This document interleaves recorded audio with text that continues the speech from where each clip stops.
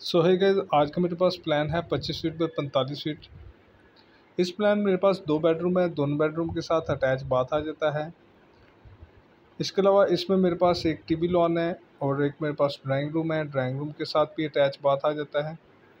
एक मेरे पास कार पोर्च है कार पोर्च में इसकी स्टेज चली जाती है कार पोर्च का साइज़ आप चेक कर सकते हैं।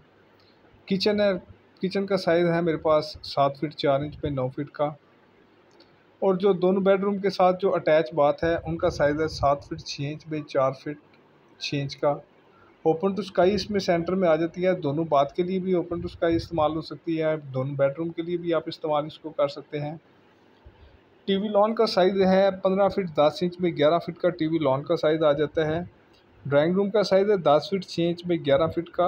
और बाहर मेरे पास इसको कॉमन बात भी आप इस्तेमाल कर सकते हैं, सात फिट बाई चार फिट का।